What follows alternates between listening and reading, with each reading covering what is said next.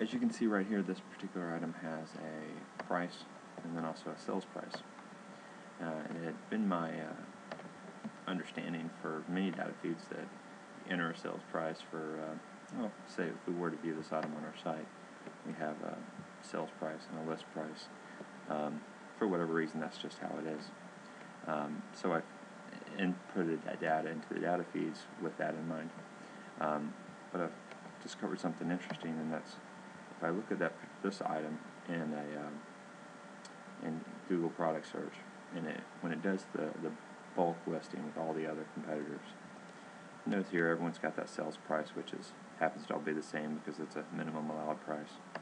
I'm listing my my, my, regular price, not my sale price. Actually, in two different stores, I'm doing the same thing. Here's budget commercial mailboxes as well. Um, so I dug into it and I thought, well, you know, I must have some configuration wrong that's feeding this price instead. Uh, but as we saw, um, this is in my Google Merchant account backend. This is um, that's not the case, right? I am feeding it a sales price, but it's just not showing up. Turns out if I do an exact search for this um, item, uh, Google does me the favor of presenting my exact page, uh, and it has my my good price.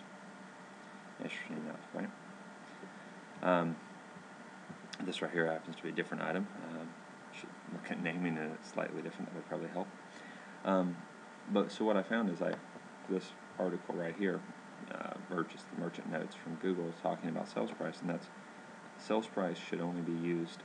Um, well, pretty much use sales price as if you're running a sale, not just as your not just as I use sales price on my on my homepage or on my product listings. And if you're going to use sales price, you have to use or you should use this an effective date, which I was not feeding. So uh, I'm assuming because of the lack of effective date, it wasn't even generating sales price, or somewhere it was tied in there. But no need to for me to get into the details too much of why what I did do, which will solve the problem uh, I'm, I'm predicting, is that I'm loading up my the price that I'm selling on a day-to-day basis uh, as the price. Um, effectively scroll down here, let's see. Well, I don't have it here, but actually there's a field. Oh, it was on this page right here. So I'm loading my day-to-day for sell price into the price field. Okay, we completely eliminate the need for a sales price because technically I'm not running sales. This is my price that I sell for on a day-to-day basis.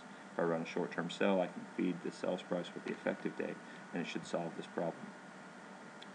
Um, something uh, that I didn't know, now I know, and um, I'm going to check my other feeds to see if other data feeds are doing the same thing. Uh, certainly hope uh, and suspect this will even help me get more uh, Google Shopping traffic, which I'm always happy with because uh, it does feed very nice traffic.